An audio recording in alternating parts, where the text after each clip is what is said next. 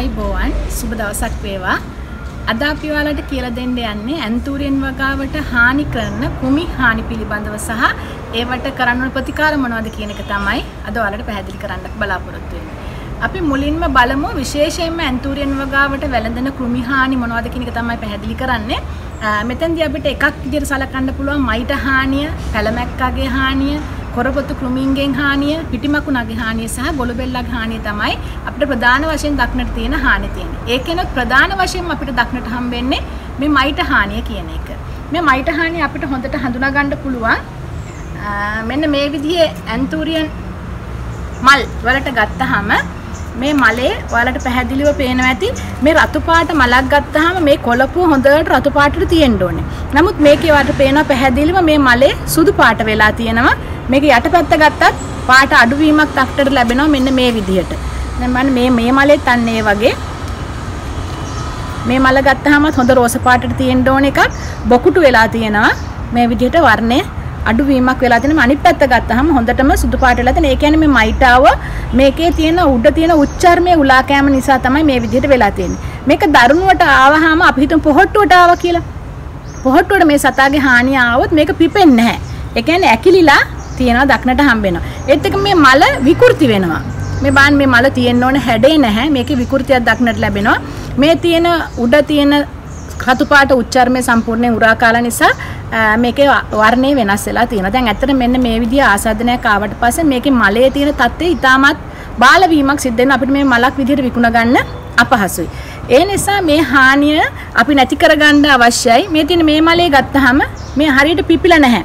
මල එක පැත්තක් විතරයි දිග ඇරලා තියෙන්නේ අනිත් පැත්ත දිග ඇරලා නැහැ. ඒ කියන්නේ මේ පොහොට්ටු අවස්ථාවේදී මේකට හානිය වෙලා තියෙනවා. මේ සතා හානි කරන අවස්ථාව අනුව තමයි මේ විවිධ ලක්ෂණ අපිට දකින්න හම්බෙන්නේ. ඒත් එක්කම මේ මයිටාව කියන සතා පත්‍ර වලටත් හානි කරනවා. ඒ නිසා අපිට මේ වගාවේදී දැනගන්න ඕනේ මේ සත්තු උෂ්ණත්වය වැඩි කාලවලදී පරිසර උෂ්ණත්වය වැඩි වෙනකොට මේ මයිටාවගේ හානිය එහෙම නැත්නම් බෝවීම මේගොල්ලන්ගේ ඉක්මනින් වැඩි වෙනවා. වැස්ස කාලයක වගේ නෙමෙයි උෂ්ණත්වය වැඩි කාලේ අවුවත් සැර කාලෙදී මේගොල්ලන්ගේ බෝවීම ඉතාමත් ශීඝ්‍රයෙන් සිද්ධ වෙනවා. එතකොට මේ හානිය ඉතාමත් දරුණුවට අපිට දක්නට හම්බ වෙනවා. ඇත්තටම අපිට මේ වගේ මයිටාවන්ගේ හානිය අපේ නෙට් හවුස් එකක් ඇතුළේ එහෙම නැත්නම් අපේ මල් වගාවේ දකින්න හම්බ වෙනවා. පළමුවෙන් අපි කරන්න ඕනේ මේ මල කපා ඉවත් කරන්න. මොකද මේ මල් වල තමයි මේ සත්තු ඇතුළේ අපිට ඇහැට පේන්නේ නැහැ. මේ මයිටා කියන සතා අපේ පියවි හැට පේන්නේ මෙයාලා මෙතන ඉන්නවා. මේගොල්ලන්ගේ ගහණේ වැඩි වෙච්ච ගමන් හැමතැනම බෝ වෙලා යනවා. ඒ නිසා මුලින්ම අපිට මේ වගේ හානියක් දක්නට හම්බුණා. නම් ඔයාලට දැන් හඳුනා ගන්න පුළුවන් කියලා මම විශ්වාස කරනවා. මයිට හානිය කියන්නේ මොකක්ද කියන එක. මේ වගේ හානියක් දැක්කනම් අපිට දුක හිතන්න නැතුව මේ මල කපලා ඒ ස්ථානයෙන් ඉවත් කරන්න. ඉස්සලා පුච්චලා දානවා නම් තමයි ගොඩක්ම හොඳ. එහෙම වුණොත් අපිට කුමිනාශක නොයදා මේ මලයට එන මයිට හානිය අවම කරගන්න පුළුවන්. ඒත් එක්කම අපි විශාල වශයෙන් කරන වගාවක් කරනවා විශේෂයෙන් නෙට් හවුස් එකක් වගේ කරනවා නම් ඔයාලට පුළුවන් විශේෂයෙන්ම අපි දන්න පෑවිල් එන කාලේ කොයි කාලේද කියලා. ඒ කාලෙට ප්‍රථම මේ මයිට නාශකයක් යොදා ගන්න පුළුවන් නෙට් හවුස් එකක් ඇතුලේ. එහෙම යොදන්නේ අර හානිය එන්න කලින් අපි වළක්වා ගන්න. එහෙම නැතිනම් ඇත්තටම පුළුවන්කමක් තියෙනවා නෙට් හවුස් එකක් ඇතුළට මාසයකට සැරයක් මේ මයිට නාශකයක් යොදා ගන්න පුළුවන් නම් මේ හානිය නැතුව අපිට සම්පූර්ණයෙන් අපේ ලස්සන මල් වගාවක් පවත්වාගෙන යන්න පුළුවන්. එතකොට මේ මයිට හානිය සඳහා නිර්දේශිත කෘමිනාශක තමයි සල්ෆා අඩංගු කෘමිනාශක මයිට නාශකයක් තමයි යොදන්න කියලා කියන්නේ. මේකේ අපිට වෙළඳ නමක් විදිහට අපිට කියනවා නම් ඇබමැක්ටින් කියන මයිට නාශකය යොදන්න යෙදුවොත් අපිට මේක හොඳට මේ වගාවෙන් අයින් කරගන්න පුළුවන්. මොකද අපි සාමාන්‍ය කෘමිනාශකයන් මේ මයිටාවන් සඳහා යොදන්න යොදලා හරියන්නේ නැහැ. සමහර කෙනෙක් සංස්ථානික කෘමිනාශකයක් මේකට යොදන්න පුළුවන්. නමුත් මේ මයිටාව විනාශ කරන්න බෑ. ඒ නිසා මයිටාවන් සඳහා විශේෂිත වූ අපි ගන්න කෘමිනාශක බෝතලේ මයිටාවන් සඳහා සුදුසුයි කියලා තියෙනවා නම් පමණක් තමයි මේ වගේ මේ හානිය සඳහා යොදා ගන්න නැති. එහෙම නැතුව වෙන මොන කෘමිනාශක යොදාගත්තත් මේ හානිය අපිට අයින් කරගන්න බෑ. එනිසා මේ මයිට හානිය වලට හඳුනා ගන්න පුළුවන් වුණොත් විශේෂයෙන්ම ඇබමැක්ටින් කියන කෘමිනාශක නැත්නම් මයිට නාශක යෙදීම තුලින් අපිට මේ හානිය අයින් කර ගැනීමේ හැකියාව තියෙනවා. ඊළඟට අපි බලමු අපිට ඊළඟට ප්‍රධාන වශයෙන් ඇන්තූරියන් වගාවේ දකින්න හම්බෙන එකක් තමයි පැලමැක්කගේ හානිය.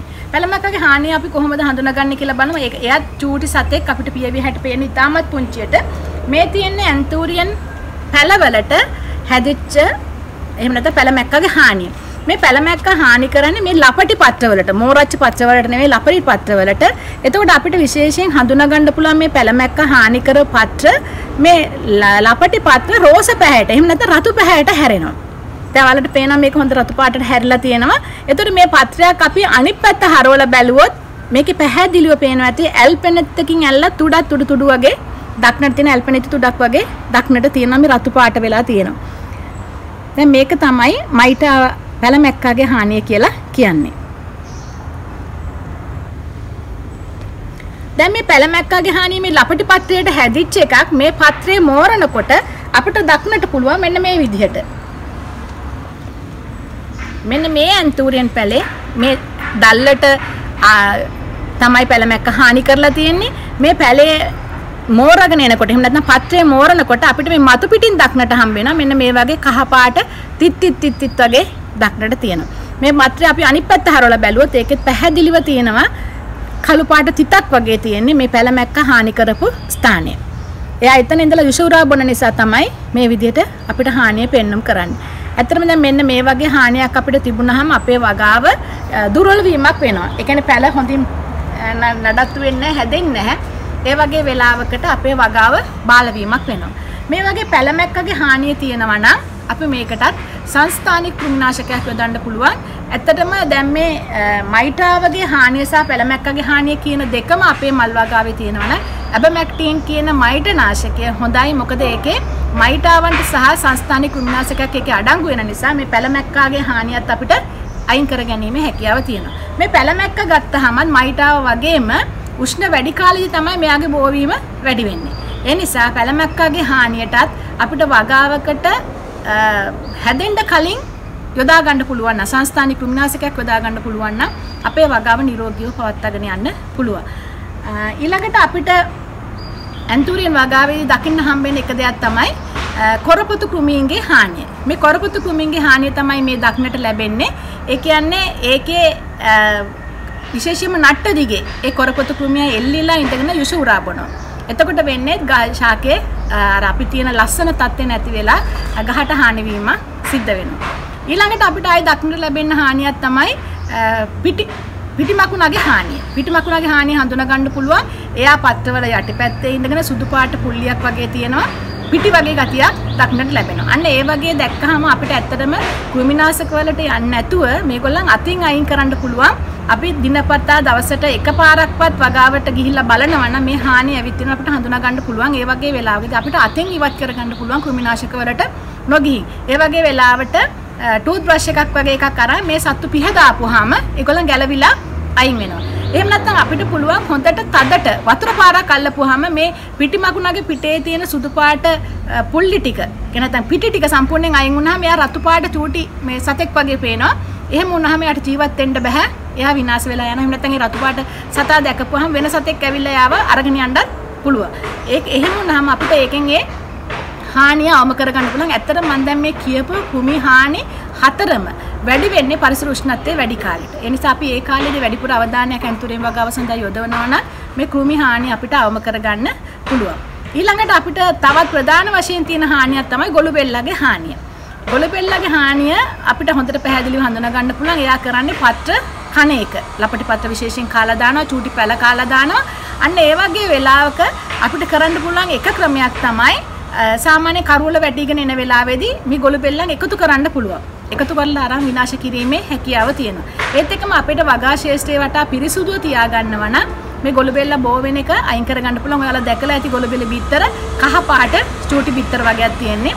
ඒගොල්ලන් බිත්තර දාන්නේ විශේෂයෙන්ම කුණු ගොඩවල් වල. ඒ නිසා අපේ පරිසරය පිරිසුදුව තියාගන්න නම් මේ ගොළු බෙල්ලගේ හානිය අවම කරගන්න පුළුවන්. එහෙම නැත්නම් අපිට පුළුවන් අපේ නෙට් හවුස් එක වටේට එහෙම නැත්නම් අපේ මල් පොච්චි තියෙන වගාව වටේට 10ය දාගන්න පුළුවන්. මොකද එහෙම වුණාම සතාට එන්න අපහසුයි. ඒ විදිහට අපිට පාලනය කර ගැනීමක් කරන්න පුළුවන්. එහෙමත් නැත්නම් අපිට පුළුවන් රසායනික ක්‍රමයකට යන්න. ඒ සඳහා අපිට වෙළඳපොලේ මිලදී ගන්න කියලා තියෙනවා මෙටා කියලා කෘමිනාශකයක්. එතකොට ඒක ඇත්තටම යමක් විදියට තමයි පාවිච්චි කරගන්න පුළුවන්නේ. අපි මේ හැම අපේ සාමාන්‍ය net house එක වටේ හත් අට පොලකින් මේක තියලා ඉවරලා මේ සත්තු ආකර්ෂණය වෙලා එතනට එනවා. අන්න ඒ විදියට අපිට එකතු කරගෙන මේ සත්තු විනාශ කර ගැනීමේ හැකියාව තියෙනවා. ওই විදියට තමයි අපිට ගොළුබෙල්ලගේ හානිය අයින් කරගන්න පුළුවන් වෙන්නේ. දැන් ඇත්තටම මම ඔයාලට කියලා දුන්නේ ප්‍රධාන වශයෙන් එන කුමිහානි පිළිබඳව ඒකෙදි ඔයාලට යම්කිසි තවදුරටත් දැනගැනීමේ අවශ්‍ය කරුණක් තියෙනවා නම් පහතින් කමෙන්ට් එකක් දාන්න දිගටම අපිත් එක්ක රැඳීලා ඉන්න කියලා ඔයාලට ආරාධනා කරනවා. බොහොම ස්තුතියි.